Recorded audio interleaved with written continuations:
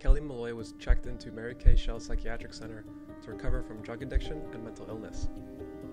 On June 21st at approximately 10 p.m., she left the center and has not been seen or heard from since.